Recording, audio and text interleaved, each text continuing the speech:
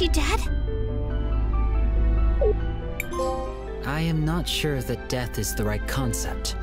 Her systems have crashed, but she is...